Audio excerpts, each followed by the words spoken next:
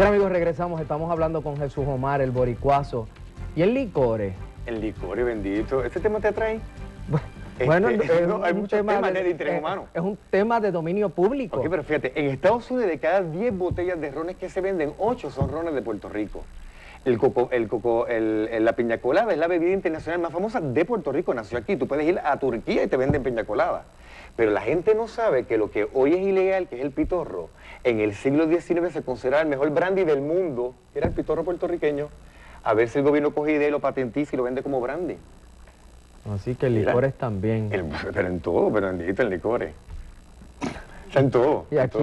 Sí, bendito. Bueno. Hay otros temas. Licores, ahí sé, pero licores eh, y también en todo. Yo sé que hay otros No, no, que temas, me da gracia, Jesús porque lo que pasa es que si hay un tema que no destacamos, porque acuérdate que si me cuca empezamos a hablar de los tragos regionales, entonces Carlos de Oso, de ahí empieza a desarrollar el Billy, y tú empiezas a ver como una isla territorialmente pequeña, tiene una variedad de tragos, pero impactante.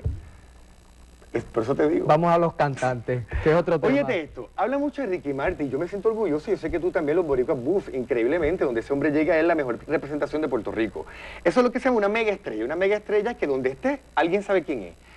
Esa no es nuestra primera mega estrella, el siglo XX terminó con una mega estrella, pero el siglo XX comenzó con una mega estrella que fue don Antonio Paoli.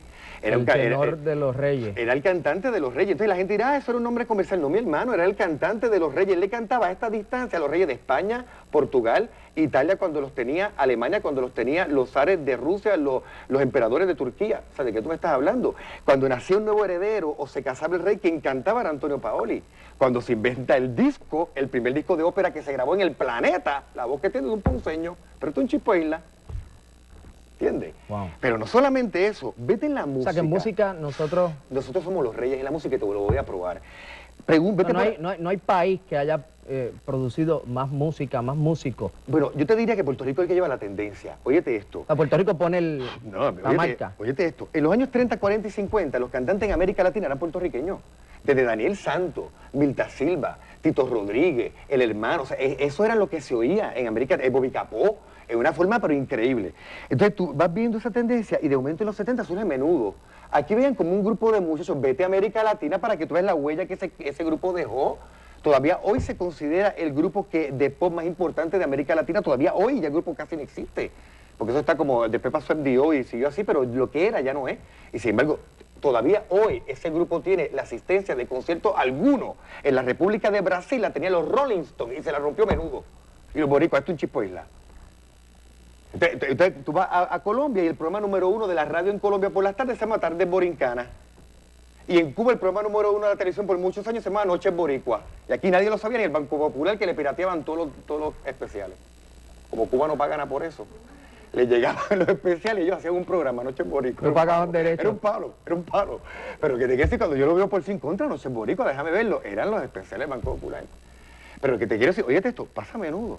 Entonces tú vas viendo los cantantes, hoy, hoy vete a América Latina, el 80% de la música que estoy en las discotecas y los demás es puertorriqueña, y no me refiero a reggaetón nada más.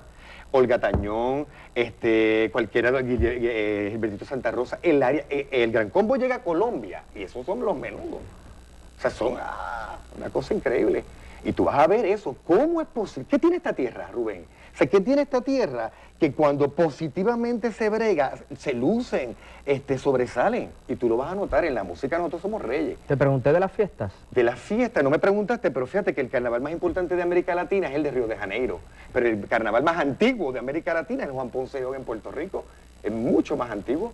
Yo no sé si esto es un dato muy bueno, especialmente para nuestros amigos latinoamericanos que nos estén viendo en Guapa América, pero Puerto Rico es uno de los países con más días de fiestas en el mundo.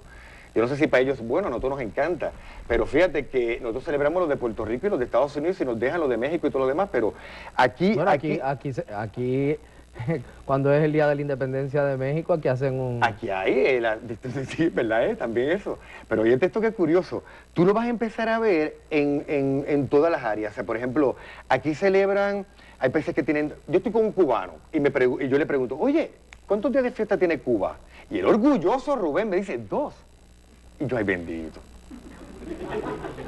Porque tú sabes que lo que viene es, y en Puerto Rico, y yo ahí lo humillar. Y cuando yo le digo, mira, eh, ¿verdad? En Puerto Rico, entre eh, oficiales y no oficiales que nosotros hacemos oficiales, son como 30 al año. Él no lo podía creer. Pero es que la Navidad más larga del mundo es Puerto Rico y eso no es broma. Aquí empiezan en San Giving. Dele gracias a Dios que esos peregrinos llegaron en noviembre. Si llegan en septiembre, olvídate. Desde San Giving, mi hermano, hasta... Es verdad, porque, eh, bueno, yo, yo, he, yo he estado en fiestas navideñas el, eh, el día antes de Thanksgiving. Y ya. Empieza la cosa. Pero ¿Y, es- ¿Y cuándo acabamos? Ocho días después de, las- de Reyes, que son las octavitas. Tú sabes que es un periodo de 45 días. Eso es un mes y medio de Navidad. De jarana. de jarana. Los puertorriqueños que viven en Estados Unidos cuando se iban, entonces que el 31 y el 1 de enero en Estados Unidos botan los árboles. A los boricuas nos da una pena, porque no, no, falta todavía. O sea, porque tú tienes esa, eso, y eso lo, lo- lo llevan allá. Las mejores fiestas de Reyes las celebran los boricuas allá. En, la- en Nueva York celebran una fiesta de Reyes brutal. Yo comí un pastel en, en- en el Central Park brutal, un día de Reyes.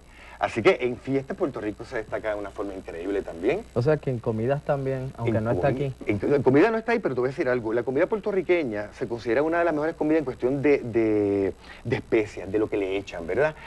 Para los boricuas, el sofrito es algo bien boricua, ¿verdad? Pero nosotros empezamos a hacer investigación y el único país del mundo fuera de Puerto Rico que hace sofrito es Nigeria. Nigeria, en África, hace sofrito. Así que por ahí puede haber una raíz de ese sofrito. La comida puertorriqueña es mezcla de esas tres razas. Yo te diría que la mejor prueba es el pastel. ¿Por qué? Porque el plátano es africano. El envolver es africano. El cerdo es español. Y, y y todo este tipo de cosas de hervir es taína. Y tú lo vas a ver. Y- O los pasteles de yuca también. O sea, tú lo vas a ver. Inclusive en los últimos años, lo- los, equipos de chef de Puerto Rico, las competencias que van arrasan.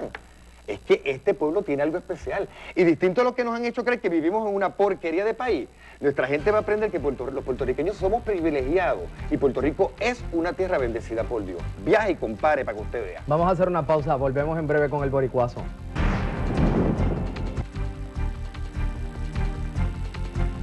Sí. Nah. Sí que es, que es, sí que es, nah. sí que es. Eh, Jesús Omar el boricuazo dice que Santurce qué? Es una isla, aparte de Puerto Rico. Lo que pasa es que tú no lo sientes porque pasas puente. Pero fíjate, si tú ves un mapa antiguo, todo Piñones, eh, Santurce, Isla Verde eran islas aparte, Isla Grande, la isleta de San Juan, todo eso eran islas. Si tú pasas por el puente, para el que es central, tú pasas un puente para llegar hasta Santurce. Vete por todas las áreas de Santurce y siempre va a haber un puente, aunque sea cortito, que tienes que pasar. Oye, Te voy, déjame... a, te voy a hacer tirar por ahí a chequear a ver si es una isla. Una isla, una isla, mí. Voy a coger algunas llamadas, eh, pero antes de ir con las llamadas, amigos, esta noche eh, Ojeda entrevista al único sobreviviente de la masacre de las piedras. Yo creo que esta entrevista va a estar la más interesante eh, por todo lo que envuelve ese dramático y trágico suceso. Así que esta noche a las 9, Ojeda entrevista al único sobreviviente de la masacre de las piedras. Vamos con llamadas. Eh, buenas tardes. Sí, gracias. Buenas tardes. Hola, ¿quién Buenas habla? Para, para, ambos, para, ambas, para ambas personas, para usted y el señor Omar. Muchas gracias. Este, La señora Díaz. Eh, le, son, son, es con dos opiniones, sencilla y, y muy buena. Eh, su programa yo siempre lo veo, porque verdaderamente le voy a decir una cosa, como periodista me encanta porque usted es directo ahí, al grano y hace las preguntas como las tiene que hacer. Gracias, señora Que, Díaz. o sea, que no, no, no se deja intimidar por nada ni por nadie. Gracias. ¿Entiende?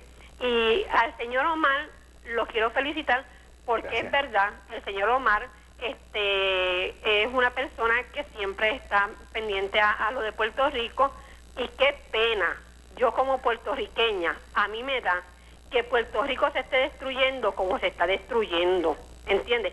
Y que muchos puertorriqueños ten- se tienen que ir para afuera a vacacionar o a, o a ver este, otras, otro, otras islas o lo que sea, cuando en Puerto Rico hay tanto, tanto, tantos pueblos tan bonitos que se puedan ver. Así que yo felicito Señora Díaz. al señor Omar Gracias. por, por él. Gracias. estar en esa situación y a usted.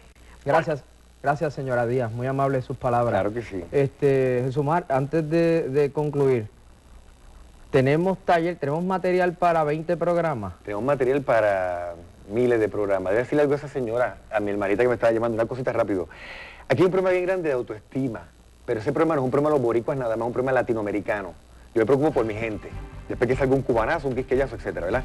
Oye, de esto, esta información que nosotros estamos diciendo aquí, que nosotros tenemos, tiene que llegarle a todos los boricuas. Porque es inevitable que azules, rojos, verdes, gays, jaricritas, testigos de Bamita, cuando sienten algo aquí, se emocionan. Gracias, Boricuazo. 20 veces me van a invitar otra vez. Bien amigos, vamos con Noticentro 4 a la